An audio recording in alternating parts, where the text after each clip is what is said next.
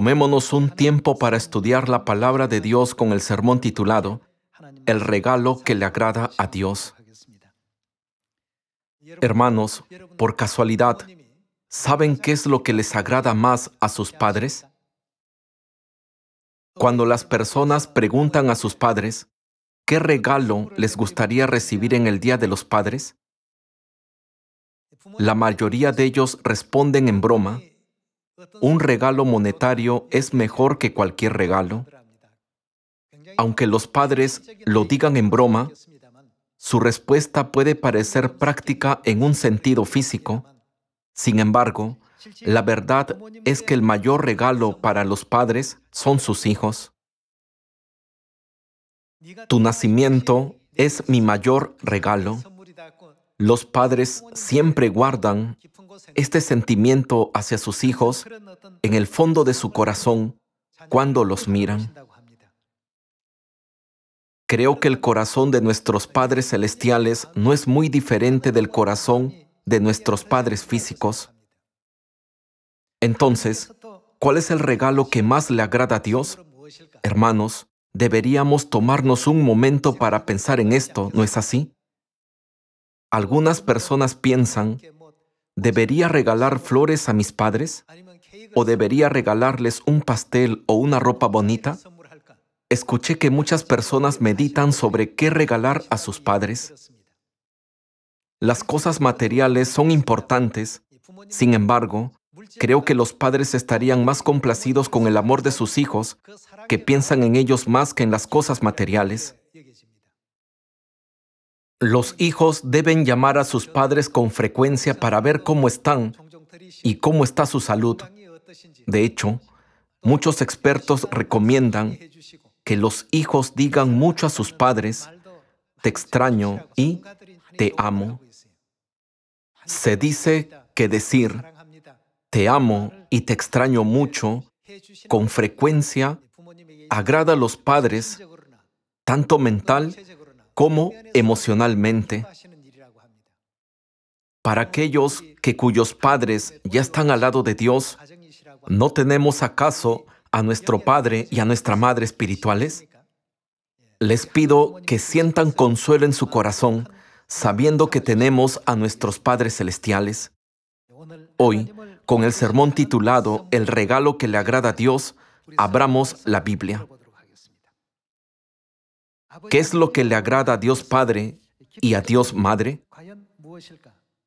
Veamos Efesios capítulo 5. Veamos Efesios capítulo 5, versículo 8. En el capítulo 5, versículo 8 está escrito, porque en otro tiempo erais tinieblas, mas ahora sois luz en el Señor. Andad como hijos de luz porque el fruto del Espíritu es en toda bondad, justicia y verdad, comprobando lo que es agradable al Señor. ¿Qué es agradable a Dios? Debemos encontrar la respuesta y confirmar esto en la Biblia. Comprobando lo que es agradable a Dios, ¿no significa acaso que debemos esforzarnos por entender qué es? Entonces, ¿qué debemos tener los hijos a fin de agradar a Dios? Veamos el verdadero corazón de Dios a través de lo que está escrito en la Biblia en Hebreos capítulo 11. Vayamos a Hebreos capítulo 11 versículo 6. En Hebreos capítulo 11 versículo 6 está escrito, pero sin fe es ¿Qué es? Imposible agradar a Dios. Al final, no llegamos a pensar, no importa lo que hagamos, ¿debemos hacerlo con una fe que sea agradable a nuestros padres celestiales? Sin fe es imposible agradar a Dios. En otras palabras, significa que cuando Dios observa a sus hijos que tienen fe, siempre se agrada de ellos, ¿verdad? Vayamos a Lucas capítulo 15. Veamos Lucas capítulo 15 versículo 1. En Lucas capítulo 15 versículo 1 está escrito, Se acercaban a Jesús todos los publicanos y pecadores para oírle, y los fariseos y los escribas murmuraban diciendo, Este a los pecadores recibe y con ellos come. Entonces él les refirió esta parábola diciendo, ¿Qué hombre de vosotros, teniendo cien ovejas, si pierde una de ellas, no deja las noventa y nueve en el desierto y va tras la que se perdió hasta encontrarla? Y cuando la encuentra, la pone sobre sus hombros gozoso y al llegar a casa, reúne a sus amigos y vecinos diciéndoles, gozaos conmigo, porque he encontrado mi oveja que se había perdido. Os digo que así habrá más gozo en el cielo por un pecador que se arrepiente que por noventa y nueve justos que no necesitan de arrepentimiento. En este momento, podemos ver la escena en la que Dios está muy complacido. La Biblia dice, Dios se complace más por un pecador perdido que se arrepiente y vuelve a Dios.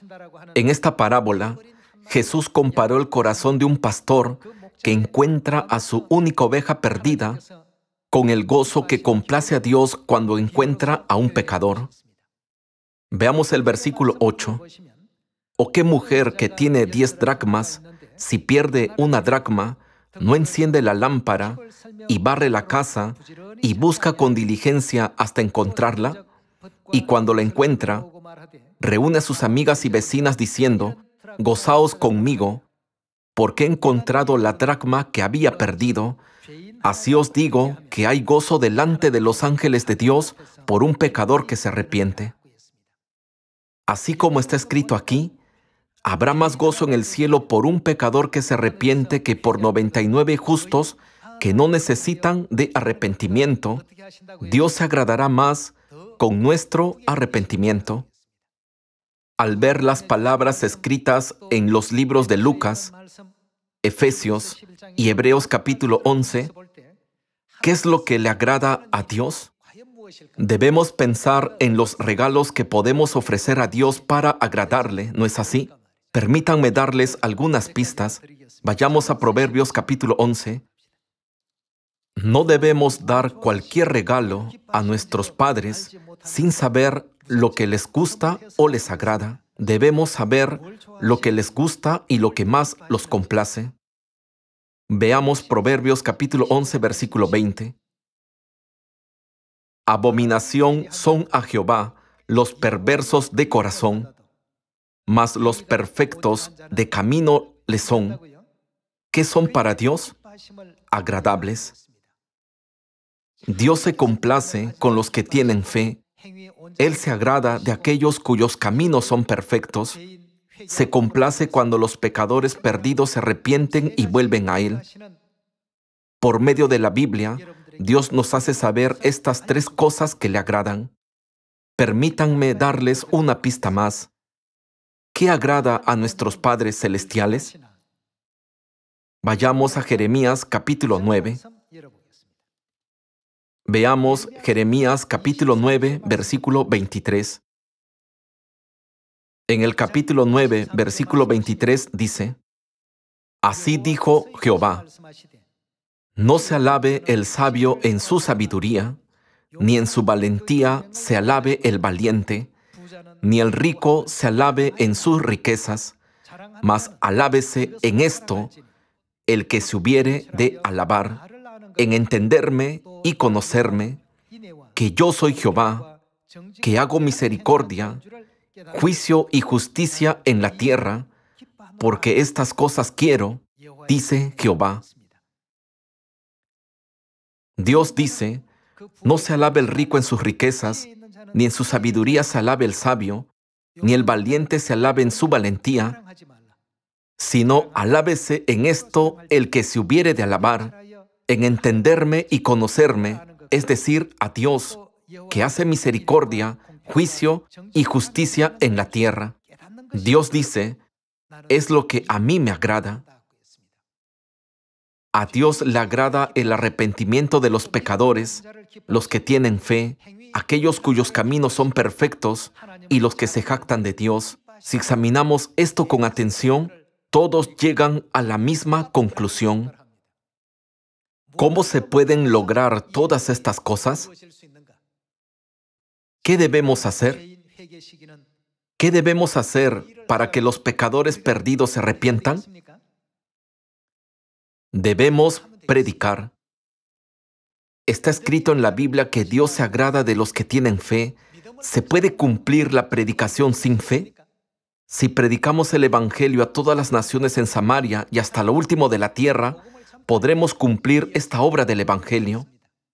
Además, la Biblia dice, Dios se agrada de aquellos cuyos caminos son perfectos. Piensen en cada proceso de predicación del Evangelio. ¿Podemos predicar el Evangelio haciendo obras sin gracia? Todos los que predican el Evangelio deben dar ejemplo a los demás con sus palabras y obras, ya que nuestras palabras y obras están directamente relacionadas con hacer resplandecer la gloria de Dios no podemos evitar ser irreprensibles en nuestras palabras y obras. La Biblia también dice que Dios se agrada de los que se jactan de Él. Una vez más, la predicación es la forma de jactarse de Dios.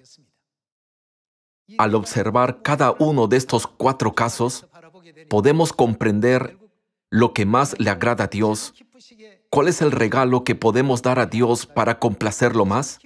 Es salir y predicar este Evangelio a todos los pueblos y las naciones del mundo. Llevar a cabo esta misión de predicar el Evangelio es el camino para que cumplamos todo lo que a Dios le agrada. Encontrar a nuestros hermanos perdidos y guiar a los pecadores al arrepentimiento por la predicación es lo que más le agrada a Dios.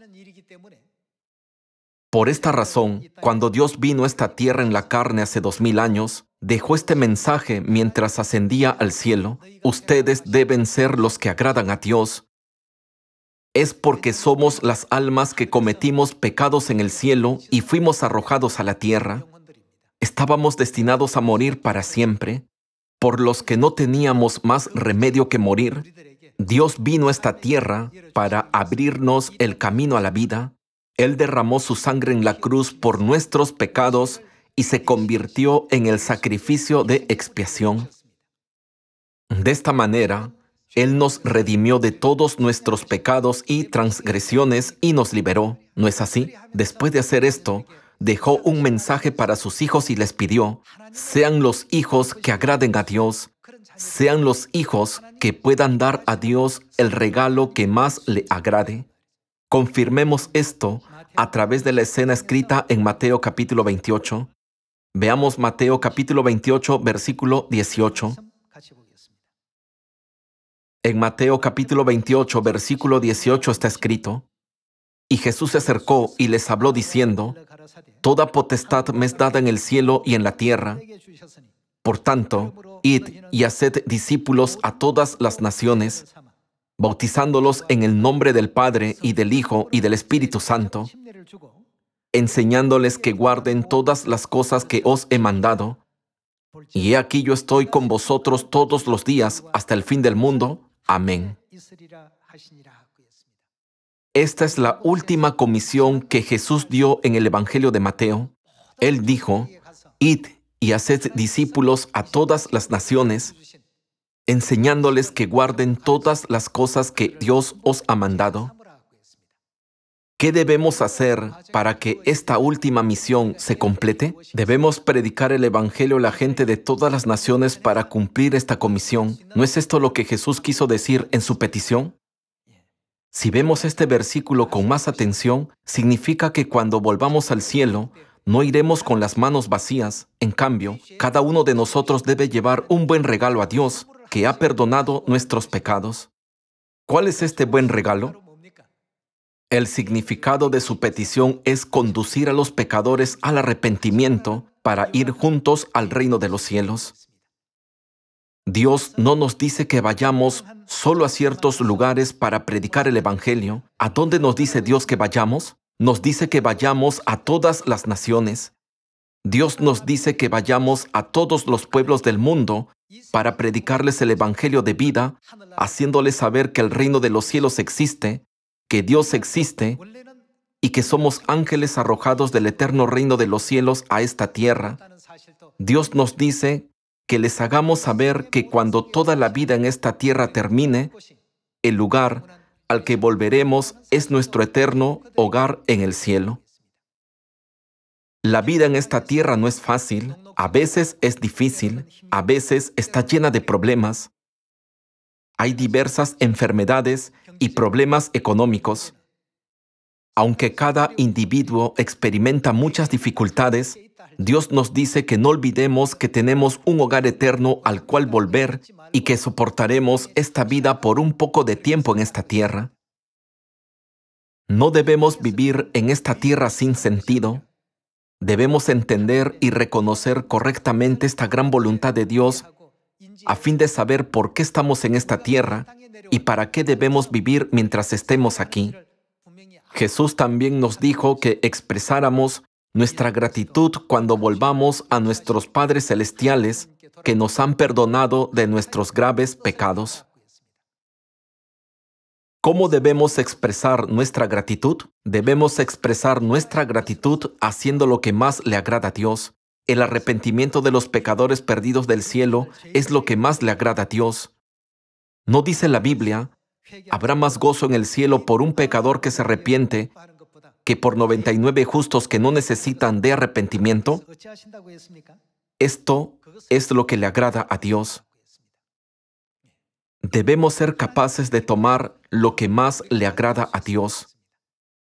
Debemos ser capaces de reunir los corazones arrepentidos de los pecadores y llevarlos a nuestro eterno hogar celestial. Esta es la última y más grande misión en esta tierra que Jesús dejó a los que creen en Dios antes de ascender al cielo. Por eso, en los 66 libros de la Biblia está escrito, prediquen diligentemente la palabra del Evangelio a tiempo y fuera de tiempo. Cuando vuelvan al reino de los cielos, esto será el mayor regalo para Dios. ¿No es este el significado de estas palabras? Vayamos a 2 de Timoteo capítulo 4. Veamos 2 de Timoteo capítulo 4 versículo 1. En el capítulo 4 versículo 1 dice, Te encarezco delante de Dios y del Señor Jesucristo, que juzgará a los vivos y a los muertos en su manifestación y en su reino. ¿Qué nos dice Dios que hagamos? Te encarezco en la manifestación del reino de Dios que nos será revelado que prediques la palabra, que instes a tiempo y fuera de tiempo.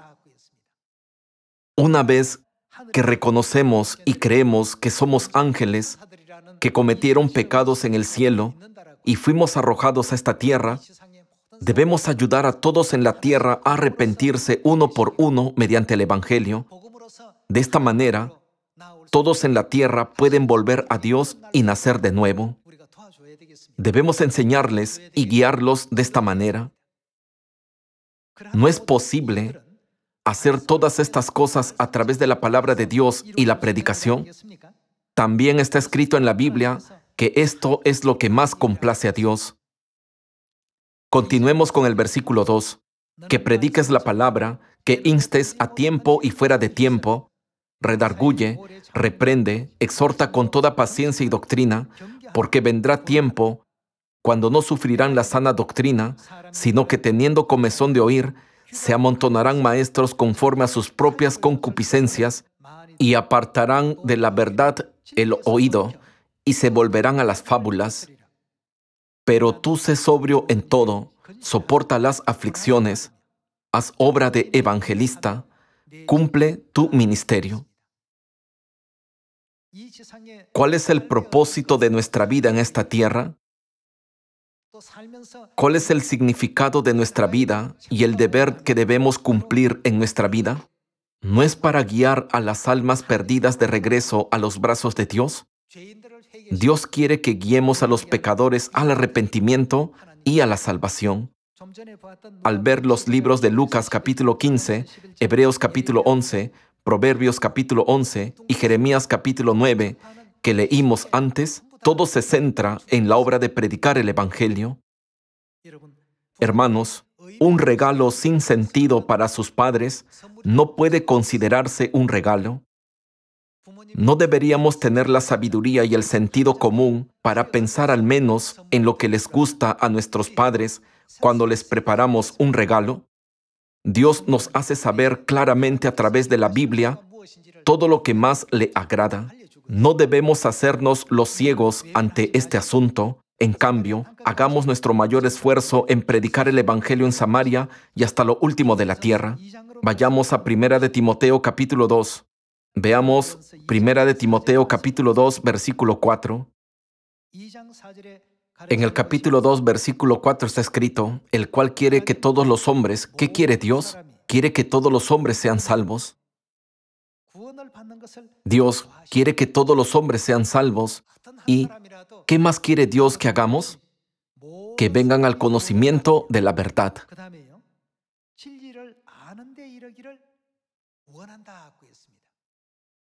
Si esto es lo que le agrada a Dios, estudiemos diligentemente las palabras de la Biblia pensando, ¿cómo puedo salvar un alma más? Esforcémonos al máximo por examinar nuestro carácter y reflexionar sobre nosotros mismos.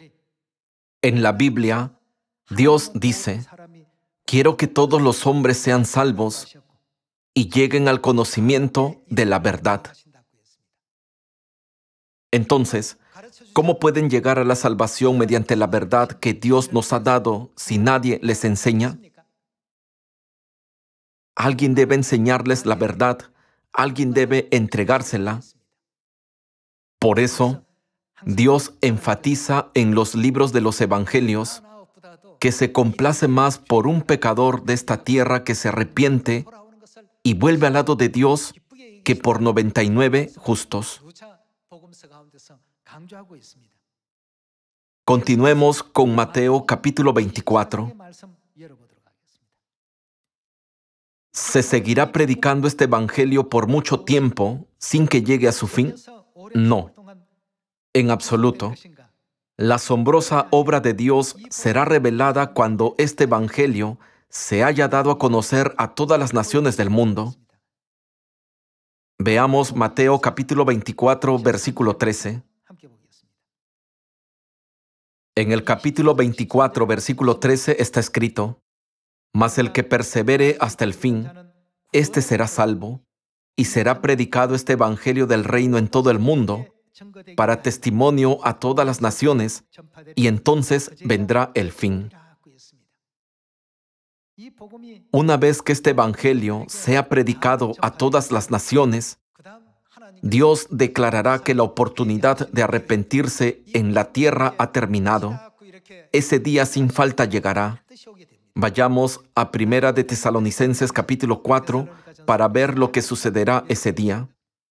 Veamos Primera de Tesalonicenses capítulo 4 versículo 14. En el capítulo 4 versículo 14 está escrito, porque si creemos que Jesús murió y resucitó, así también traerá Dios con Jesús a los que durmieron en él. Por lo cual os decimos esto en palabra del Señor, que nosotros que vivimos, que habremos quedado hasta la venida del Señor, no precederemos a los que durmieron, porque el Señor mismo con voz de mando, con voz de arcángel y con trompeta de Dios, descenderá del cielo. Pronto, el Evangelio será predicado al mundo entero y todas las épocas que Dios profetizó llegarán a su fin. En ese momento, el Señor descenderá del cielo con voz de mando, con voz de arcángel y con trompeta de Dios.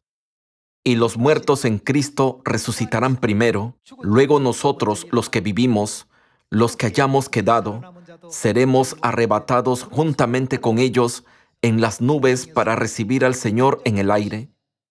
Y así estaremos siempre con el Señor. Por tanto, alentaos los unos a los otros con estas palabras.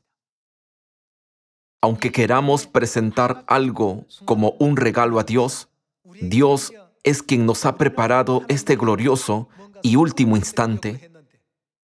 ¿Creen que nuestro pequeño regalo puede considerarse como algo grandioso en todo el universo? ¿Puede ser algo de gran valor? No obstante, Dios se complace con nuestro regalo y acepta hasta la cosa más pequeña y la considera como algo grande. Hermanos, había imágenes del universo en el calendario de nuestra iglesia. Cada mes, de enero a diciembre, aparecía una imagen diferente del universo, ¿verdad? Siempre me pongo a pensar, ¿cómo se ve la Tierra en la que vivimos en el universo? Realmente parece un grano de trigo. Cuando se compara la Tierra con las innumerables estrellas, es tan pequeña que ni siquiera podemos ver su existencia. Al ver el universo entero, no importa lo que hagamos ni lo justos que seamos, nuestras acciones no son nada a los ojos de Dios. Dios se complace con el corazón sincero y los grandes esfuerzos de sus hijos que piensan, ya que a Dios le agradan estas cosas, preparemos estos regalos espirituales. No importa si a sus padres les compran ropa, les obsequian flores o les dan dinero, los padres no se agradan solo con eso. ¿No están de acuerdo? ¿No les agrada acaso su gratitud y su sinceridad por preparar esos regalos? Lo mismo sucede con nuestro Dios. Dios gobierna el universo entero y considera la tierra como una gota de agua que cae del cubo y como polvo en las balanzas. Aunque demos a Dios todo lo de esta tierra, ¿tendría algún significado para Él? Dios creó esta tierra y hay cientos de millones de estrellas en el universo.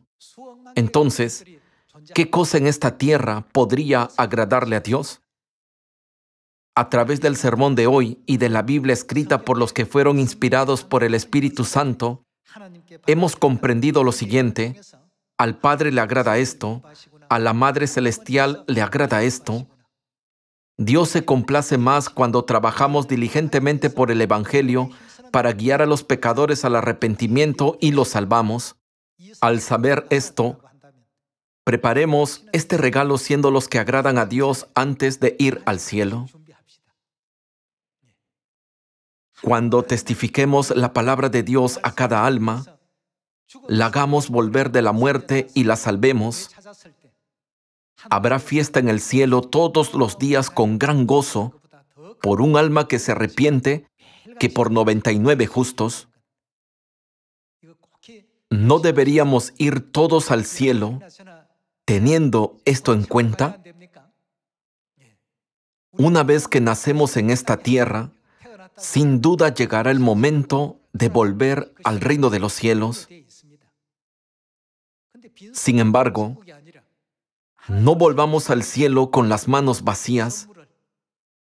Espero que podamos ir al cielo con los brazos llenos de hermosos regalos que agradan a Dios.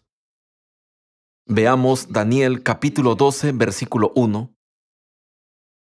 En el capítulo 12, versículo 1 dice, en aquel tiempo se levantará Miguel, el gran príncipe que está de parte de los hijos de tu pueblo, y será tiempo de angustia, cual nunca fue desde que hubo gente hasta entonces, pero en aquel tiempo será libertado tu pueblo, todos los que se hallen escritos en el libro, y muchos de los que duermen en el polvo de la tierra serán despertados, unos para vida eterna y otros para vergüenza y confusión perpetua los entendidos resplandecerán como el resplandor del firmamento, y los que enseñan la justicia a la multitud como las estrellas a perpetua eternidad. Los que enseñan la justicia a la multitud.